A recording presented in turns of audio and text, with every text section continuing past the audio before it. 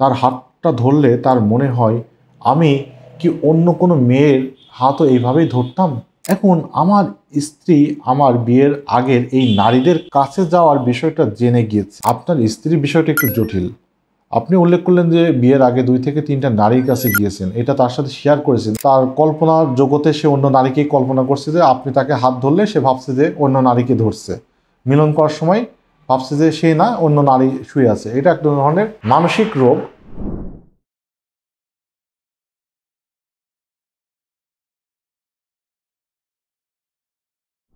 আমি এক কঠিন সমস্যায় পড়ে গেছি। আমার পরিচয়টা গোপন রাখবেন। জি, অবশ্যই অবশ্যই গোপন রেখেছি। আমরা প্রত্যেকটা দর্শকের পরিচয়টাই সর্বদা গোপন রাখারই চেষ্টা করি। আমি একজন ছেলে, বয়স চব্বিশ বছর। বিয়ে করেছি দুই বছর পরিবারের ইচ্ছাতে। আল্লাহর রহমতে এক মাস হলো সন্তানের বাবা হয়েছে, আলহামদুলিল্লাহ। সমস্যাটা হলো শারীরিক এবং মানসিক। শারীরিক সমস্যাটা হচ্ছে আমার এবং মাথা, মানসিক সমস্যাটা হচ্ছে আমার স্ত্রীর। আমি যখন আমার স্ত্রীর সাথে মিলন করতে যাই, আমার লিঙ্গ উত্তেজিত হয় না, নরম থাকে। অনেক সময় দেখা গিয়েছে একেবারেই উত্তেজিত হয় নাই। বিয়ের পর আবার এমনও হয়েছে, টানা পনেরো দিন কিছুতেই লিঙ্গ উত্তেজিত হয়নি। এটা নিয়ে আমার স্ত্রী নতুন অবস্থায় থেকেই আমাকে সাপোর্ট দিত। আমিও সাহস পেতাম। বিয়ের আগে আমি অনেক হস্তমতন করতাম। আল্লাহ মাফ করুক দুই থেকে তিনটা নারীর কাছেও আমি গিয়েছি। তখনও আমার এই সমস্যা হয়েছে লিঙ্গ উত্তেজিত হয়নি। এখন আমার স্ত্রী আমার বিয়ের আগের এই নারীদের কাছে যাওয়ার বিষয়টা জেনে গিয়েছে। এখন আমার কাছে আর তেমন আসতে চায় না। বলে আমার কাছে আসলেই তার মনে হয় আমি তাকে না, অন্য কাউকে আদর করছি। তার হাতটা ধরলে তার মনে হয় আমি কি অন্য কোনো মেয়ের হাতও এইভাবেই ধরতাম? আমার অতীত জেনেও সে আমার সাথে কোনো রাগারাগিও করেনি। সে বলেছে, যা করেছে বিয়ের আগে, কিন্তু সে এগুলো থেকে বের হতে পারতো না। আমার দাম্প, আমার দাম্পত্য জীবন একেবারে শেষ হয়ে যাচ্ছে। সে বলে সে আমাকে ঘৃণা করে না। সে মেনে নিয়েছে সব, কিন্তু এগুলো থেকে বের হতে পারছে না। আমি তাকে অনেক সময় দিচ্ছি, কিন্তু ঠিকই হচ্ছে না, বরং বাড়ছে। বাবু হওয়ার পর থেকে আস্তে আস্তে সে চাচ্ছে না। স্যার, দয়া করে সাহায্য করুন, আমার স্ত্রী কি করলে এই সমস্ত সমাধান থেকে সে বেরিয়ে আসতে পারবে? আলহামদুলিল্লাহ, আমরা একটা জটিল ধরনের একটা সমস্যার আলোকপাত করলাম। তার প্রেক্ষাপট এবং বিশ্লেষণটা পটভূমিটা যদি আমরা একটু চিন্তা করি যে এটা হরহামেশাই কিন্তু হয়। তো যে সমস্ত নারীরা বিয়ের আগে নিজেদের চরিত্রটাকে, ইজ্জতটাকে স্বামীর জন্য সংরক্ষিত করে রাখে, তাদেরই এই ধরনের মনস্তাত্ত্বিক একটা সমস্যা দেখা দেয়। সে যেমন নিজেকে পিওর বা পবিত্র মনে করে, সে একজন আপনাকে স্বামী হিসেবে একজন সুদর্শন এবং সৎ এবং ধার্মিক বা আপনি কোনো পরনারীর কাছে যান না, এই ধরনেরই চিন্তা করে। কিন্তু সে তো এটা মেনে নিয়েছে। বিয়ে তো আর চাইলে তো হুট করে ভেঙে দিতে পারে না। তো এই ধরনের সমস্যা ছেলেদের ক্ষেত্র হয় এবং মেয়েদের ক্ষেত্রেও হয়। বিয়ের আগে জিনা ব্যবসার, বিয়ের পরে পরকিয়া, এই সমস্ত জিনিসগুলো আমাদের সংসার ব্যবস্থাটাকে দিন দিন ভেঙে ফেলছে।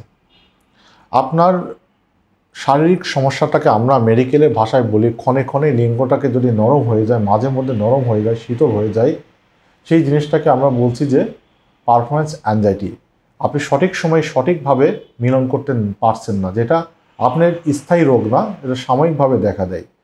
তো এইটা ওষুধ ছাড়াই ভালো হয়ে যায়, যদি খুব বেশি ইমার্জেন্সি হয়, যেহেতু আপনি উল্লেখ করলেন পনেরো দিন বা তারও বেশি সময় পার হয়ে যাচ্ছে, সেই ক্ষেত্রে অবশ্যই কিছু আহ, লিঙ্গের ব্লাড সার্কুলেশন বৃদ্ধির জন্য চিকিৎসকের পরামর্শ অনুযায়ী ওষুধ সেবন করবেন। যদি ভিটামিন ই ক্যাপ বা আদার্স মাল্টিভিটামিন গ্রহণ করতে পারবেন ডিম দুধ খেতে পারেন। এবং আপনার স্ত্রীর বিষয়টা একটু জটিল। আপনি উল্লেখ করলেন যে বিয়ের আগে দুই থেকে তিনটা নারীর কাছে গিয়েছেন। এটা তার সাথে শেয়ার করেছেন। এই ধরনের যদি কেউ পাপাচারে লিপ্ত থাকেন এবং বিয়ের পরে স্ত্রীদের কাছে এটা কখনোই বলবেন না। তার কাছ থেকে আপনি সিম্পেথি যদি নিতে যান তারও তো একটা মন। অনেক নারী কিন্তু এটা মেনে নিতে পারে না। যদি মুখে যদি মেনে নেয়, তার ভিতরে কিন্তু একটা কষ্ট থেকেই যাবে যে, আমার স্বামী এরকম এরকম, ইত্যাদি ইত্যাদি। তো আপনার ক্ষেত্রে যেটা ঘটেছে যে, স্ত্রী এটা মেনে নিতে পারছে না। সে তার কল্পনার জগতে সে অন্য নারীকেই কল্পনা করছে যে, আপনি তাকে হাত ধরলে সে ভাবছে যে, অন্য নারীকে ধরছে। মিলন করার সময় ভাবছে যে, সে না, অন্য নারী শুয়ে আছে। এটা এক ধরনের সাইকিয়াট্রিস্ট বা মানসিক রোগ, যেটা সাইকোলজিস্ট অথবা সাইকিয়াট্রিস্ট ডক্টর যারা আছে, তারা আপনার এই বিষয়গুলোকে সুন্দর করে ডিল করতে পারবে। দেরি না করে স্ত্রীকে অবশ্যই একজন মনোরোগ বিশেষজ্ঞ ডক্টরকে দেখিয়ে দিবেন এবং কাউন্সিলিং সেশন গ্রহণ করবেন। কেননা পরবর্তীতে এটা জটিল আকার ধারণ করে।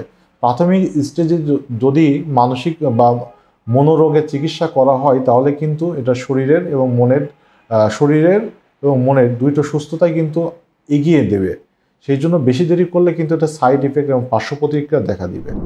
যেটা হচ্ছে যে, এখানে আপনার সুস্থতার জন্য যদি তার ভিতরে যদি এই অ্যাটিচিউডটা যদি না থাকে যে ডিভোর্সের দিকে না যাওয়া আপনি উল্লেখ করছেন সংসারটা ভেঙে যাওয়ার পথে, তাহলে কিন্তু দেরি হয়ে যাচ্ছে।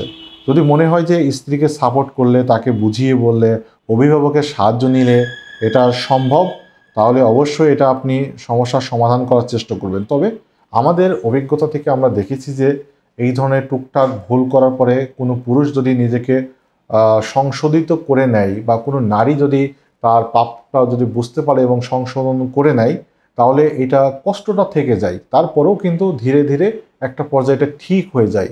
সন্তান হয়ে যাওয়ার পর ঠিক হয়ে যায় একটা নির্দিষ্ট সময় যাওয়ার পর ঠিক হয়।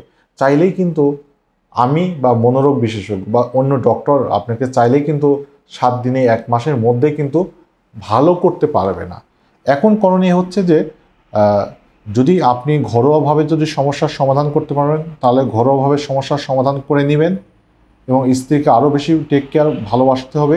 আপনাকে সেটা প্রমাণ করতে হবে যে আপনি স্ত্রীকে ভালোবাসতেছেন এবং আপনাদের বিয়ের পরে আর কোনো ধরনের সমস্যা তৈরি হয় নাই। আপনি তাকে বুঝিয়ে বলেন যে মানুষের তো আসলে ভুল হতেই পারে, শয়তান ধোকা দেয় আপনি তৌবা করেছেন, ফিরে এসেছেন তৌবাকারীকে আল্লাহ তালা ভালোবাসে, তাহলে ইনশাল্লাহ স্ত্রী আস্তে আস্তে এটা ফিরে আসতে পারবে ইনশাল্লাহ, আমরা মনে করছি। যদি সম্ভব হয়, দূরে কোথাও গিয়ে ঘুরে আসুন, বাংলাদেশের কক্সবাজার বান্দরবন, বিভিন্ন পর্যটন শিল্পগুলোতে স্বামী স্ত্রী একাকিত্বভাবে সময় কাটালেও কিন্তু এটা মনোতাস্ত্বিক যে সমস্যাগুলো চলতে থাকে, ডিপ্রেশনগুলো, অবসেসিভ কম্পালসিভ ডিজর্ডার যেটাকে আমরা ওসিডি বলি, সেটাও কিন্তু কারেকশন হয়ে যাবে। নাহলে পেনিক অ্যাটাক হবে। এই সমস্ত জিনিসগুলো থেকে বেরিয়ে আসার জন্য আপনাদের একটু নিরিবিলি সময় স্পেন্ড করা দরকার। এবং পাশাপাশি যদি স্ত্রী ডিপ্রেশনে যায়, তাহলে অ্যান্টি ডিপ্রেশন জাতীয় কোনো ওষুধ তাকে দিতে পারেন যেন তার মস্তিষ্ক থেকে এটা আস্তে আস্তে এটা কেটে যায়। পরবর্তীতে চিকিৎসা না করলে এটা ভয়ানক রূপ ধারণ করে। উল্টাপাল্টা আচরণ করবে খাওয়া দাওয়া সমস্যা তৈরি হবে, ঘুমের সমস্যা দেখা দিবে, পরবর্তীতে বাচ্চা কাচ্চা লালন পালনের সমস্যা দেখা দেয়, সংসারের কাজকর্মে মনোযোগ হারিয়ে ফেলবে। তো এক কথা মেন্টালি ডিসঅরিয়েন্টেড হয়ে যাবে। সেই জন্য এটার চিকিৎসাটা হচ্ছে নিজেদের মধ্যে যতটুকু পারেন সমাধানের পথটা বেছে নিতে হবে। না হলে চিকিৎসক, না হলে মনোরোগ, বিভিন্ন পর্যায়ে চিকিৎসাটা নিলে স্ত্রী এটা থেকে বেরিয়ে আসতে পারবে। এবং আমি আরও উল্লেখ করতে চাচ্ছি যে যে সমস্ত যুবকেরা বিয়ের আগে এই ধরনের প্রেমা প্রেম, ভালোবাসা, অবাধ রিলেশন করছেন বা যারা বিয়ের পরও করছেন, আসলে আপনি নিজেও তো ক্ষতিগ্রস্ত হচ্ছেন। আমাদের সবাইকে তো মৃত্যুবরণ করতে হবে নাকি? এবং স্ত্রীও কিন্তু ক্ষতিগ্রস্ত হয়ে যাচ্ছে। আপনি সামাজিকভাবে হেয় প্রতিপন্ন হচ্ছেন এবং আপনার ভবিষ্যৎ প্রজন্ম, যে সন্তানরা আসছে, তাদের মধ্যেও কিন্তু এই প্রবণতা আস্তে আস্তে চলে যাচ্ছে। একটা জাতি কখনোই অবাধভাবে সেক্সুয়াল ফ্রি সেক্স করে বা অবাধ মেলামেশা করে কখনোই কিন্তু সাকসেস হতে পারে না। আমরা হচ্ছে মুসলিম, মুসলিমই আমাদের গর্ব। যদি আপনি যদি আপনার জায়গায় ঠিক থাকেন, আপনার ধর্মটাকে যদি রেসপেক্ট করতে পারেন, তাহলে আপনি পারিবারিক জীবন, ব্যক্তিগত জীবন, সামাজিক জীবন, রাষ্ট্রীয় জীবনে সুন্দর এবং সুখে থাকবেন বলে আমরা আশাবাদী। কারোর দেখা দেখি আপনি ফ্রি সেক্স ফ্রি মিক্সিং এই সমস্ত জিনিসগুলো থেকে, চর্চাগুলো থেকে আমাদের সবাইকে বেরিয়ে আসতে হবে। আল্লাহ আমাদের সবাইকে সহজ করুক, সহায়তা করুক। এই কামনা রেখে আজকের ভিডিওটা থেকে বিদায় নিচ্ছি আল্লাহ হাফেজ।